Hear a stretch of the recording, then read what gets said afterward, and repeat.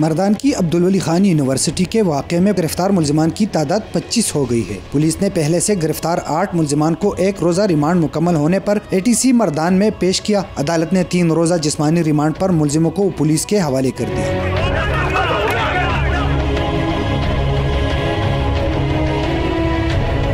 इस वाक़े के एनी शाहिद और हॉस्टल नंबर वन के वार्डन अली नवाज़ का कहना है कि मशाल पर हमले के वक्त हॉस्टल में दो तीन मुलाजिमीन मौजूद थे। मशाल खान का कमरा नंबर 105 और एक और कमरा नंबर 75 का दरवाज़ा तोड़ा गया। तीन गोलियाँ चली। हमने फायरिंग की आवाज़ सुनी।